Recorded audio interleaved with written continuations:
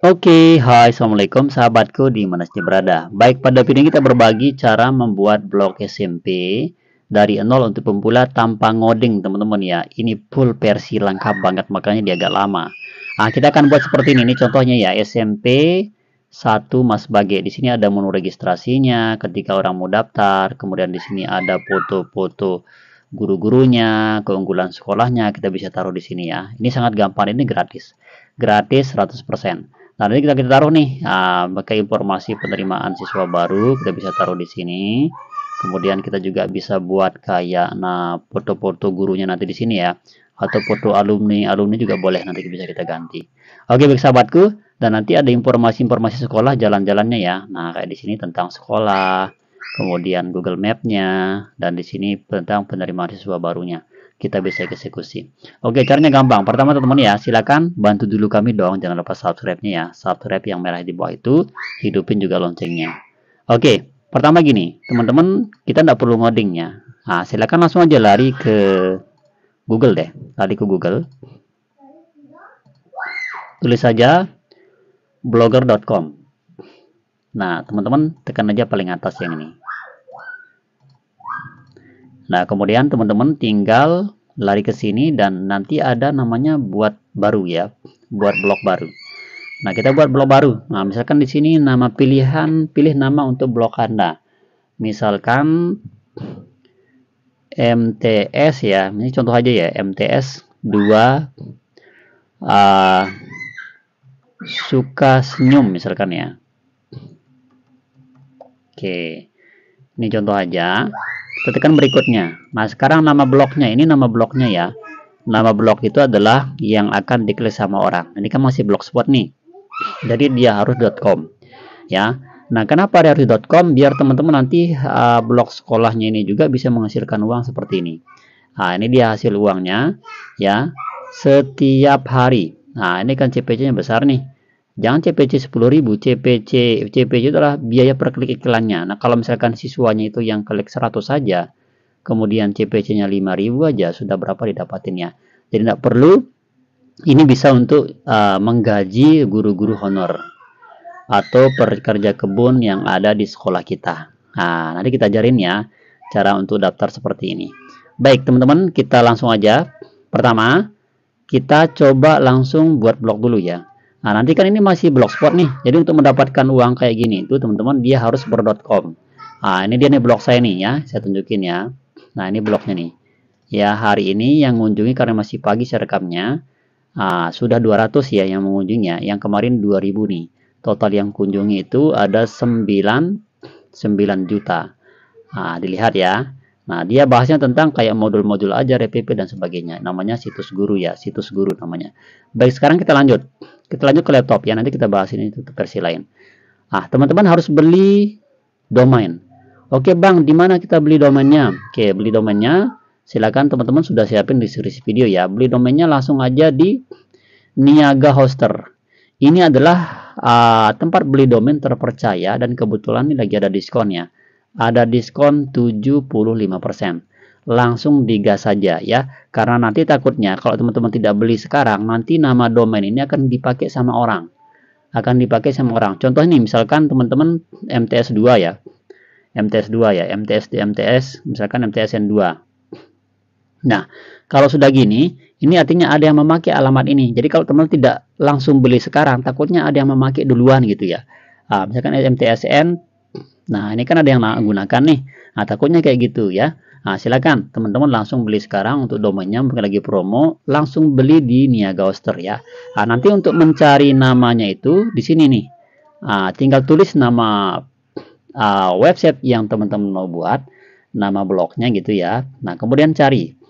Misalkan MTS 2 suka senyum. Kita cari. Nah, kita lihat di sini nih. Nih, ya. Harganya murah banget. Hanya 100.000 doang ya. Untuk yang .com untuk yang .com ya. Nah, tapi teman-teman, ketika untuk berbicara masalah website sekolah, usahakan jangan pakai .com. Kenapa, Bang? Ya, karena .com itu masih secara umum. Jadi biar lebih enak, pilih yang co.id atau yang ID. Ya, ini salah satu yang menandakan bahwa dia identitas Indonesia. Uh, Co itu artinya organisasi, cooperation ya, cooperation. Cooperation ya, kayak sekolah lah gitu ya. Nah, bisa juga beli yang SCH School ya. Bisa juga beli SCH School. Nanti nanti tinggal lihat di sini. Nah, geser aja ada .net, ada .org ya, ada .online dan seterusnya, ada .site dan seterusnya ya. Nah, silakan. Nanti tinggal pilih aja ya. Nah, nanti kalau teman-teman mau beli hosting juga langsung aja beli ya. Nah, ini ada hosting murah nih yang menggunakan WordPress. Nih kelihatan ya. Ada cloud hosting, uh, hosting ini buat yang menggunakan WordPress juga bisa beli di sini. Ya murah-murah banget lagi ada promo ya. Silakan langsung daftar di deskripsi video. Itu dia informasi untuk blog ya biar lebih profesional. Karena malu dong masa sekolah besar ya banyak muridnya sudah bertahun-tahun masa pakai blogspot? Atau pakai wordpress.com kan uh, gimana mau ditaruh di mana kepala sekolahnya nanti kan? Apalagi operatornya yang buat kan? Nanti dimarahin sama kepala sekolahnya. Langsung aja kasih tahu bendahara. Yuk kita beli aja sekarang mumpung belum ada yang menggunakan nama kita nah contoh kita sudah beli ya nanti tinggal simpan nanti bisa kita ubah yang bisa kita ubah nanti kalau teman-teman mau nanti kita buatin video cara mengubah dari blogspot.com ke yang sesuai domain yang kita beli Oke, kita simpan nah setelah tersimpan teman-teman kita lihat ya Nah, kita kan butuh template nih. Templatenya biar seperti ini kan. Biar nampil wajah-wajah siswa kan kita mau ya. Nah, sudah template kami siapin di deskripsi video. Ya, tapi kalau teman-teman mau cari template yang lebih lain lagi bisa dicari dicoba-coba ya. Template blog uh, SMP misalkan ya. Nah, SMP gratis. Banyak kok yang gratis nih, ya. Hmm. Banyak. Banyak sekali dan ada demonya biasanya. Oke, itu dia ya. Kemudian kita sekarang ganti template. Cara ganti template pilih di menu tema. Kemudian pilih di pulihkan. Kemudian pilih upload. Nah, cari template yang sudah diunduh di video ini ya. Nah, tinggal cari templatenya. Ini dia nih ya, berbentuk XML ya. Jadi ngoding dia nih, ini coding semua nih XML. Kita open. Oke. Nah, sudah selesai dan kita lihat templatenya ya. Nah, templatenya persis seperti yang saya tunjukin tadi pada awal video. Nah, tinggal kita taruh foto-fotonya di sini. Nanti orang mau daftar lewat sini aja. Jadi siswa-siswa baru bisa daftar lewat sini. Oke, saya coba ganti di tata letak ya untuk memasukin fotonya tata letak. Kemudian di sini tinggal pilih edit. Nah, tinggal ganti aja nih. Ini kan di sini siswa prestasi gitu ya. Nah, tinggal diupload fotonya di sini. Cari fotonya, misalkan yang ini ya. Oke, centang, kemudian simpan. Nah, begitu seterusnya ya, tinggal ditambah nanti fotonya di sini di bawah nih. Nah, misalkan di sini kayak gitu guru-gurunya, kepala sekolahnya, ekstra tinggal diedit aja ya.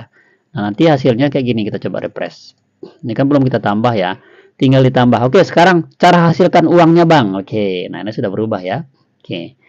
Oke, coba. Nah, cara hasilkan uangnya gampang. Nah, itu teman-teman dia ada penghasilan nih. Di menu penghasilan nih. Nah, tekan menu penghasilan. Nah, nanti di sini kebijakan Google AdSense. Ya. Nanti teman-teman pastiin untuk monetis ini pertama minimal pengunjung harian teman-teman itu adalah sebesar 200 per hari. 200 per hari ini selama sebulan. Usahakan dia stabil 200 pengunjungnya setiap hari selama satu bulan. Baru teman-teman langsung bisa daftar nanti di Google AdSense-nya ya. Biar bisa mendapatkan hasil seperti ini ya. Itu dia ya. Kemudian teman-teman, setelah dia sudah satu bulan umurnya dan stabil dia 200 pengunjungnya, langsung aja daftar. Ya, langsung daftar. Daftarnya gimana bang? Nah, tinggal ditekan-tekan di sini.